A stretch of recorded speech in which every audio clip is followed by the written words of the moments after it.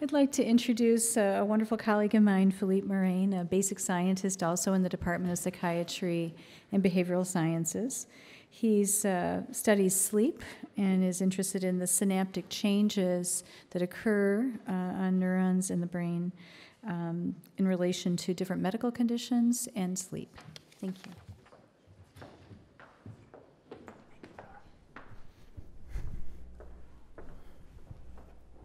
Good morning, everyone. Um, today, I would like to talk about imaging and our attempt to understand the complexity of the brain connections.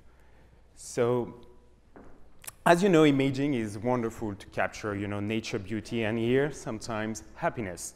Um, but when it comes to today's talks, you know, nobody will deny the fact that imaging has been critical to revolutionize medicine, the way we diagnose, the way we treat nobody would think now to go to an hospital or whatever and just say, no, I'm not going to have a radiography, ultrasound, or CT scan or fMRI if it's relevant.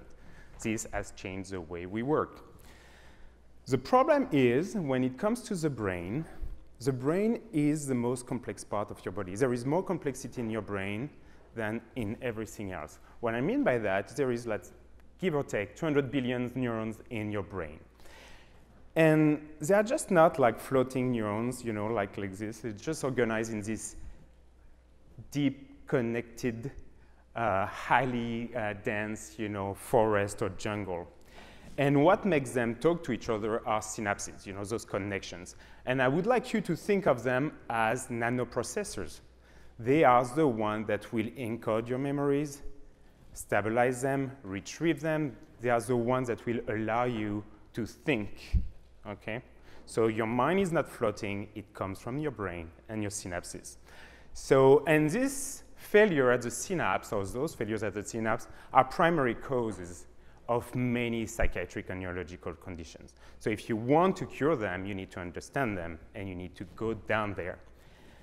Well, the problem, oh, sorry, is that with 200 billion neurons, you deal with 200 trillions of synapses when have you ever in your lifetime dealt with such numbers? You know, it just never in general. Well, in the lab we have to, but it's a thing. So it's basically trying to understand 200,000, uh, 200, 2,000, it's already enough, uh, galaxies, but at the system level with knowing exactly what every single star does. This is what we're dealing with. So how do you do that?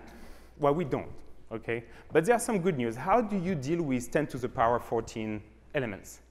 So when it comes to the synapse, we're lucky because they share structural components, proteins encoded by the genome. So, and the way synapses connect and talk to each other are through chemicals that are, you know, uh, proteins or molecules that are, you know, um, modulated by those proteins.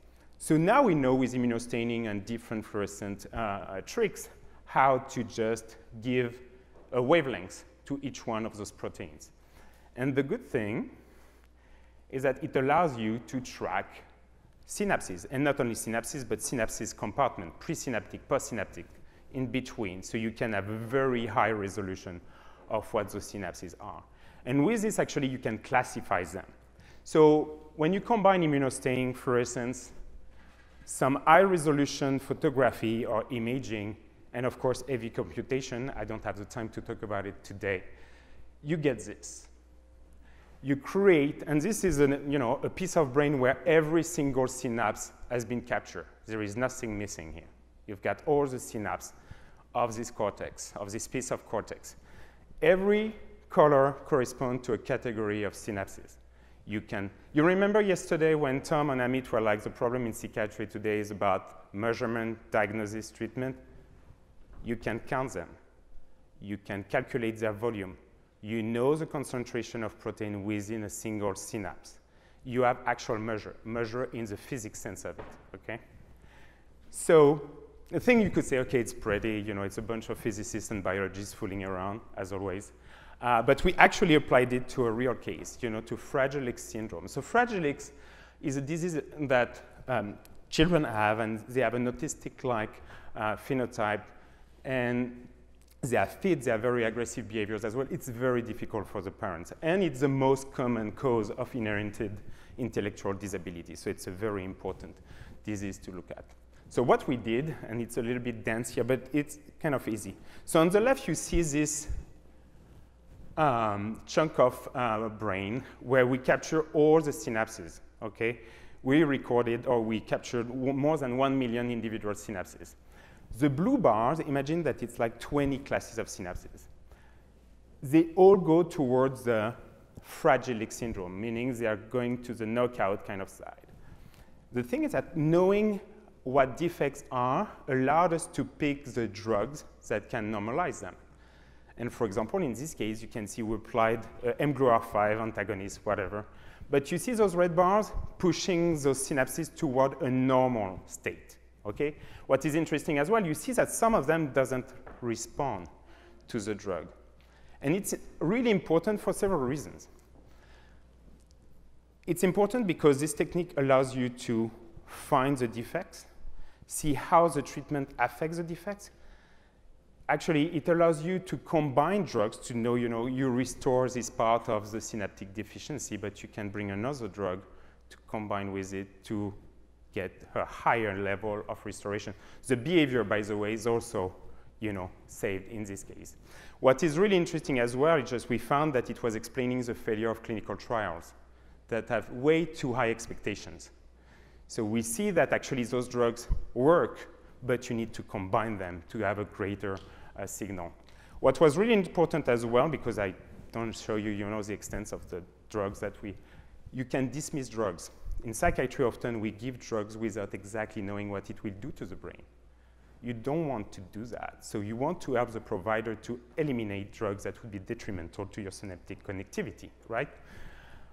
And of course, you know, you can use it, oh, sorry, um, to identify and characterize new drugs. And because it was quite successful, John Merck and Fraxa pushed us to continue, and more recently, SFARI, the Simons Foundation, wants us to do exactly the same for autism, with the idea that not about the genetics, but this common synaptic defect will be found in the different cases of autism spectrum disorders.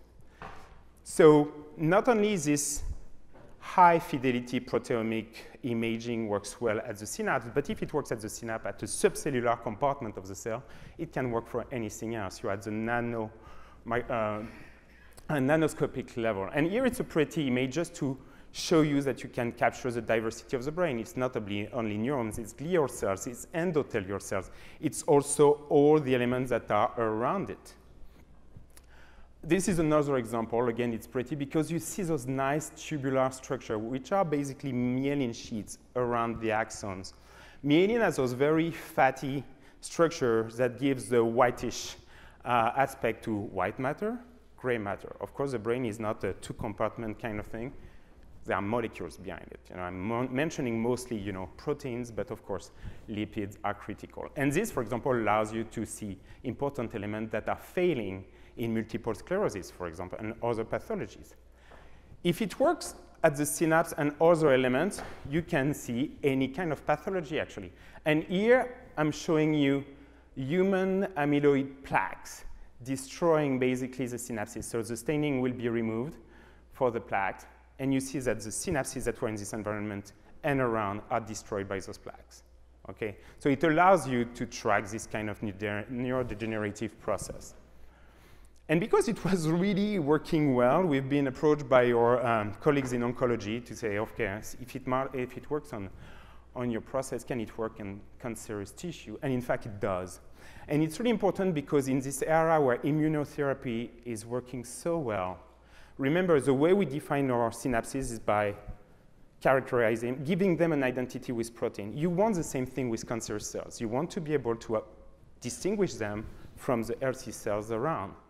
So once you have this, you can pick up the antibodies that will target the tumor.